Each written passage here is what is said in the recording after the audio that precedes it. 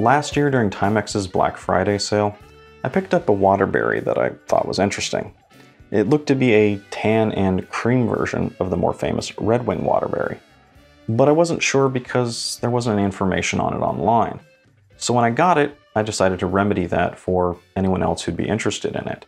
And on December 11th of last year, I created a new YouTube channel called Relative Time and uploaded its first video, which was a review of that Waterbury. Now, rewatching that video, I can tell you that I had no idea what I was doing. And even today, I'm still not sure how much I know what I'm doing. But I keep plugging along and trying to improve where I can.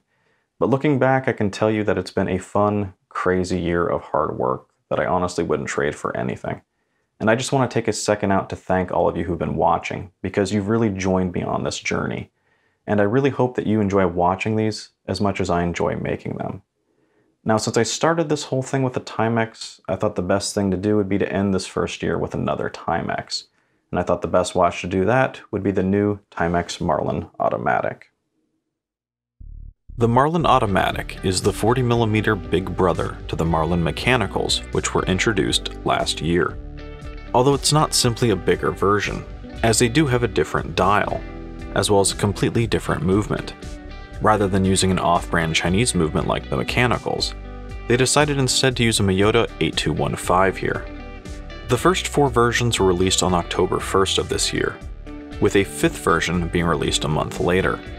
And that fifth Snoopy version was originally the one I wanted. Unfortunately, they sold out after about a week and haven't been in stock since. And I've only seen them appear on eBay for uh, quite a premium so instead, I opted for the normal silver version. The case is stainless steel with a rather simple design, which is a throwback to the original Timex Marlins.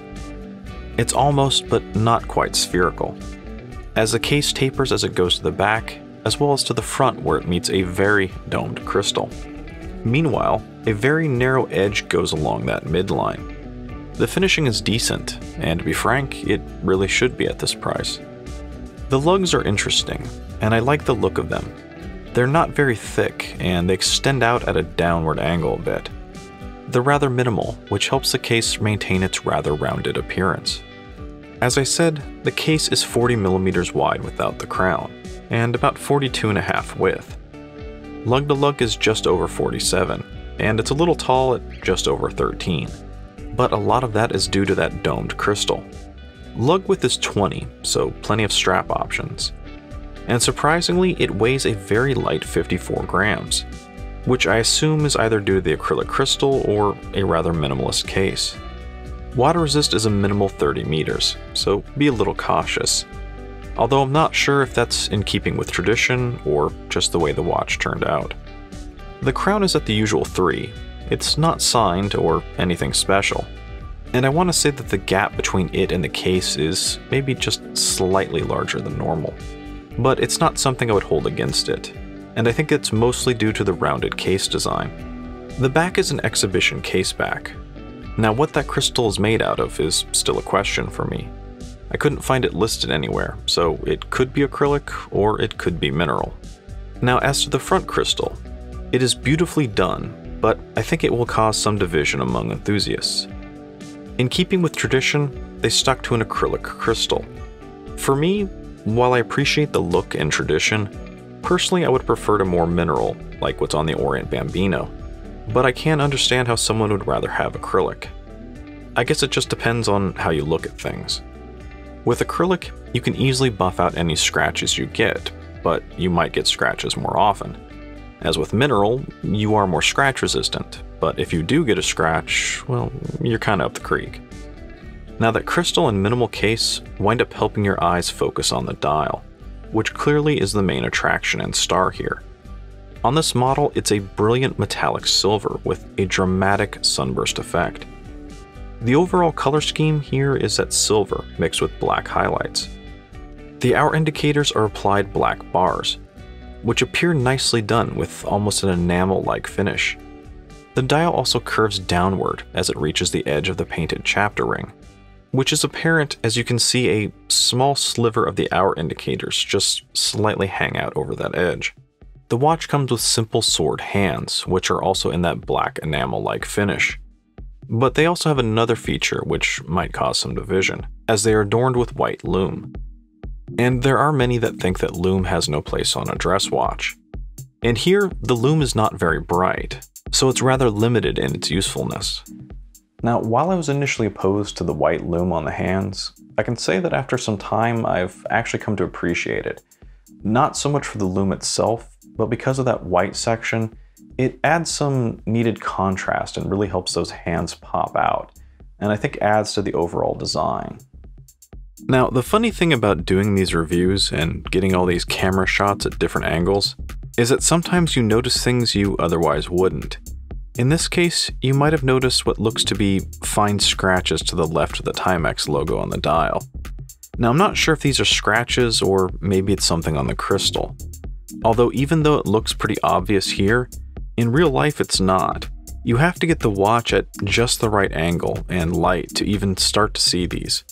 Looking at it under normal conditions and angles, they're pretty much invisible.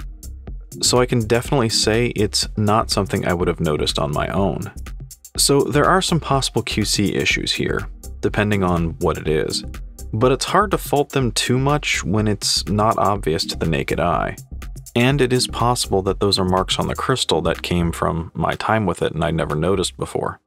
Now, with the exception of the date window, the dial is rather clean, with only the Timex name and the phrase automatic painted on.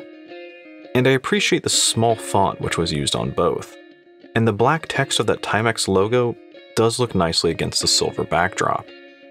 Now, as for the date, usually I like a date option when it's available, but here I think it was the wrong choice. It's small, very small, and for whatever reason, it's really hard to make out. Maybe it's the crystal, or perhaps it's the font choice. Worse off, the date wheel on this one appears to be slightly misaligned, with the date appearing almost at the very top of the cutout.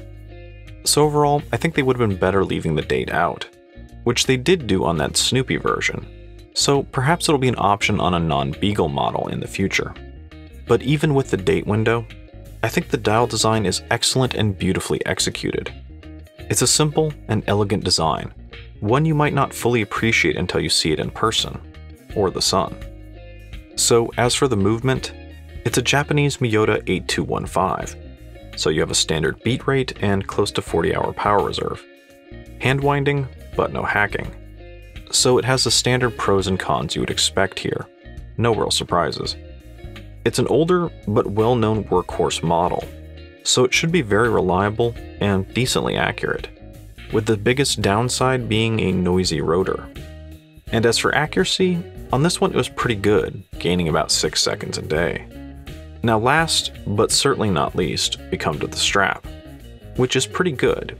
It's a nice quality brown leather strap with matching stitching. It has a nice texture and rather pliable, and who doesn't love a good leather smell? It is a signed small buckle on the end, but it is fitting for a dress watch. Overall, the strap is pretty good, although I'd say it's definitely not as good as the leather strap that came with the Waterbury. My only complaint might be that the loops are a little thin and I think will wear out first, but it should last you a good while. Now because of that strap and the light weight of the watch, it wears nicely as well. Even though it's 40 millimeters, I'd say it wears just a little smaller, and those longer lugs stretch out across my 7 inch wrist, so all you really see is that dial. It's easily a watch that you can forget you're wearing, until you need it. Overall, I'd say I like the Marlin Auto. I think it successfully takes a classic design and modernizes it for a new generation, while maintaining the elegance and simplicity for which it was known for. Other than some possible QC issues, my only real complaint here is value. The MSRP on the Marlin Auto is $250, and for now, that's what you should expect to pay. But even at that price, I think it's a little steep when you look at the rest of the market. Now, I usually don't like to compare a name brand watch to some off brand Chinese watches, but I think it's worth pointing out here that many of them can be had for a fraction of that price with the exact same movement, although not as well executed as the Timex Marlin is. But otherwise, it's also very hard to ignore that there are a lot of options at that price. And if that vintage style was something you were really interested in, the Orient Bambinos can be had for a bit of a discount, sometimes even half as much. So value is not a reason to buy a Marlin, but what is is its uniqueness, not in its design, but in its place in the world. Now, Timex stopped making mechanical movements in the early 80s, and today's Marlins, whether they're mechanical or automatic, still have a connection to those predecessors and to the history of Timex itself.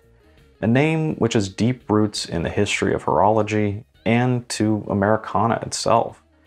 And for some people, that's actually the most important thing. And if you're one of those, then I don't think you'd be disappointed with the Marlin Automatic. Now, I ended that first video by saying that I think every collector should own at least one Timex, just for a connection to that history. And it's still something I stand by today. Now, you guys know what to do with the comments below, but before I go, I just wanted to say thank you one more time. Not just for watching this video, but for watching and joining me on this journey over the last year. I really couldn't have done it without you.